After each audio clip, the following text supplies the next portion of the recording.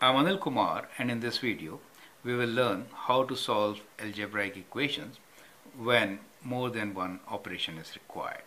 What I'm trying to say is we learned in the previous video how to solve equations like x minus 7 is equal to let us say 4 and we also learned how to solve equations like 2x equals to 6 or one third of an x is equals to let us say 5 now to solve this equation x minus 7 equals to 4 we could add 7 on both sides right?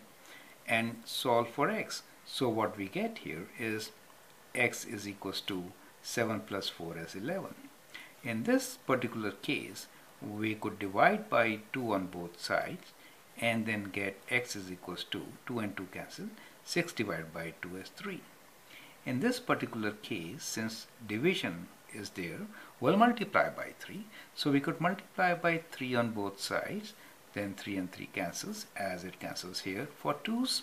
So we get x is equals to 5 times 3 is 15. So those were the methods which we learned while doing algebraic equations in the previous video. Now we will combine them. You get the point. So instead of just saying x minus 7 equals to 4, we will say 2 times x minus 6 equals to 4. So first operation will be add 6, second will be divide by 2. You get the point. So this is the kind of work which we are going to do now, right? So let's practice with this kind of thing. So instead of 2x, I could have 3x also.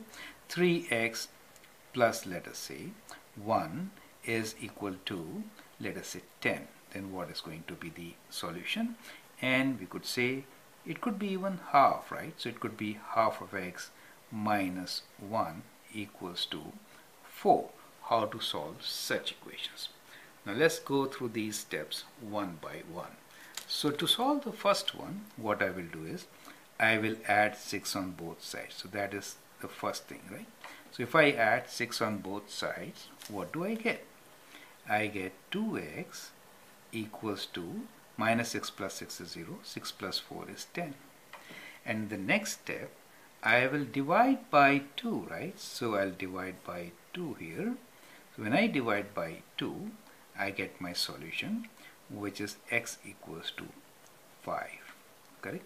So we are involving two steps, correct? Now that is what we'll do in this particular exercise. Now for you to practice, let me give you a question here. So which is similar, you can write this as 5 of x minus 3 equals to, let us say 12. Find the solution for this one. Let's do the next one. Here since I have plus 1, I will do minus 1 both sides. After doing minus 1, I will get 3x equals to 9 then I have to divide by 3. When I divide by 3, 3 and 3 cancel.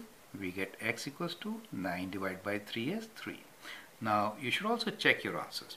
If x is 3, 3 times 3 is 9, 9 plus 1 is 10. Left side is equals to right side. So that is just the correct solution, right? Now let me give you one question here with plus sign. So we'll say 2x plus 5 is equal to, let us say 7. Okay. Let's do the last one here. So in this case, what should you do first? Add 1. This is minus. Add 1, correct? If you add 1, you will get half of x is equals to 4 plus 1 as 5. Next step should be multiply by 2. So we'll do times 2 both sides. That dot means times 2. 2 and 2 cancel. So once you cancel that, you get on the left side x and 5 times 2 is 10. That is your answer. You can check your answer. Half of 10 is 5. 5 take away 1 is 4. That is perfect, right? Here is your question to practice. So we'll do 1 over 3 this time. x, let me say minus. So what do you want here? 1, 2, 3. Okay, let's say 3 itself. And any number on that side, let it be 1. So as a practice, do these three questions, write down your answers, and then move on to the next set of videos. I hope that should help. Thank you and all the best.